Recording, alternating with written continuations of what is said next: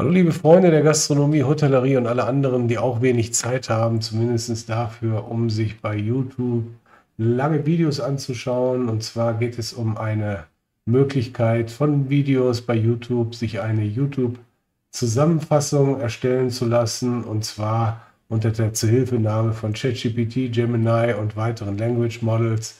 Und äh, hierzu schauen wir uns einfach mal YouTube an und das Ganze, was man mit einem Tool dort vernünftig erreichen kann, erkläre ich kurz in drei Minuten. So, und zwar hier bin ich auf dem äh, Kanal von Kemal, kann ich wirklich sehr empfehlen. Viele spannende Videos, die es von ihm gibt. Und äh, wie man sieht, sind diese auch zum Teil schon mal etwas länger. Hier 25 Minuten, 57 Minuten, 48, 32 Minuten, eine Stunde, 21 Minuten. Also das ist dann schon ein Wort.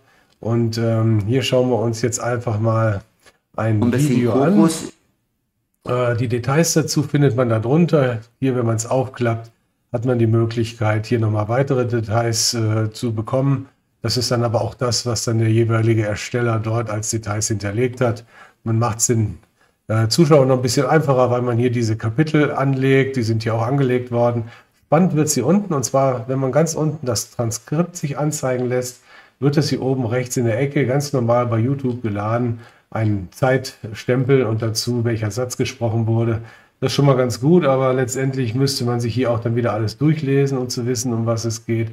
Auch da fehlt natürlich die Zeit und das Ganze sieht auch nicht sonderlich aufgeräumt aus. Deswegen, welches Tool kann man da nehmen? Es gibt hier ein Tool, das nennt sich YouTube Summary with ChatGPT and Claude. Ähm, steht zwar ChatGPT drin, aber es ist auch deutlich leistungsfähiger. Das zeige ich gleich. Das kann man installieren über den Chrome Web Store. Es gibt das auch über äh, Apple, äh, gibt es das auch zu laden in Safari.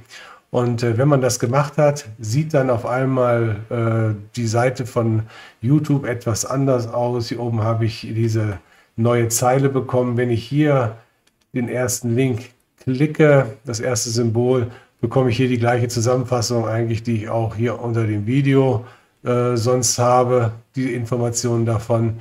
Spannender wird es jetzt bei dem zweiten Knopf. Hier wird jetzt das ganze Transkript, was erstellt wurde, geladen in ChatGPT. Und ChatGPT wird hier angewiesen, eine deutsche Übersetzung zu erstellen. Und äh, die findet man dann hier unten. Hier wird automatisch jetzt eine Zusammenfassung erstellt. Man hat die Möglichkeit, also insgesamt werden jetzt hier fünf Punkte erstellt. Man hat die Möglichkeit, hierüber, über diesen Menüpunkt unterschiedliche Language Models auszuwählen, auch Gemini. Ich habe das schon mal vorab gemacht.